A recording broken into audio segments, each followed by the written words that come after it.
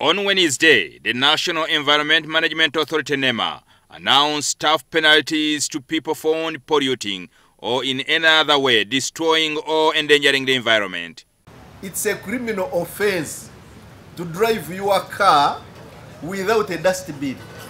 If we get you, we shall give you an invoice depending on the circumstance of up to 6 million Uganda shillings. However, the environmentalists are concerned that NEMA risks pushing many Ugandans into jail if they go ahead to implement them. My take at them is that they look to be very exorbitant. But they have no option because it's not within their means. They actually have to be in prison. So either way, you're not achieving anything. You're not achieving behavior change. You're not achieving the punitive action on, on, uh, on somebody's mind. Let them go and remove the, those uh, houses in Gaba.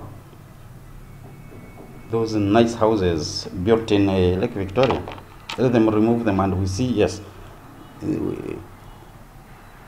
do you know uh, those be belong to unattachables in government?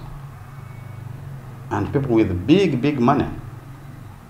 So we won't see the police demolishing those houses. Can they? Frank Muramuzi of the National Association of Professional Environmentalists NAPE says even though he agrees with the move by NEMA to take action against the degraders, it's likely to encourage corruption within the traffic police because they are too high. The guidelines are good, but they will only target uh, soft targets, the, the, the, the, the smaller fish. The big fish, no. And the big fish are the polluters of the environment. Have they created a baseline, for example, to say, okay, if somebody is going to be penalized, if somebody is going to be prosecuted, uh, then they are against a certain baseline. However, for the express penalty scheme to take into force, the Minister of Environment will have to issue a statutory instrument to guide its implementation. The police would have to issue special codes for the express penalties before traffic officers can start using them. Section 174, which basically gives a mandate to, to the minister, to the authority with approval of the minister, to prescribe express penal, an, an express penalty scheme and, and, and of course have it implemented.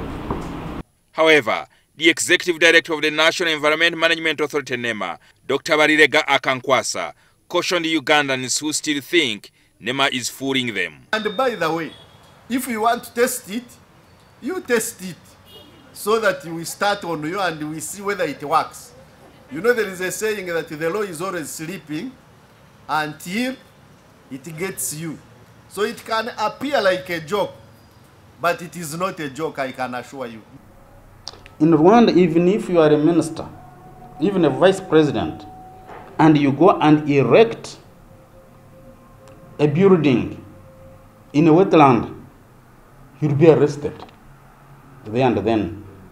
The environmental lawyer Moses Mugimba says the move will also require the judiciary to establish a special division in the courts of law to handle environmental related cases.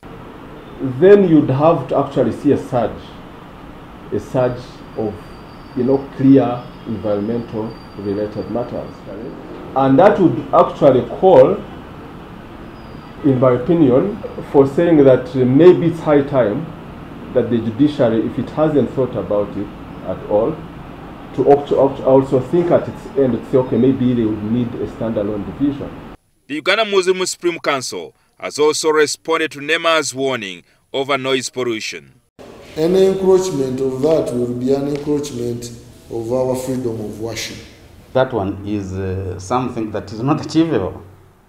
You need to go to Nakasero or Saint Church, my church where you go. When they are uh, singing, it is so loud. It is near the State House. The environmentalists believe NEMA would have to sensitize Ugandans before coming up to implement the penalties. Jingo Francis, NTV.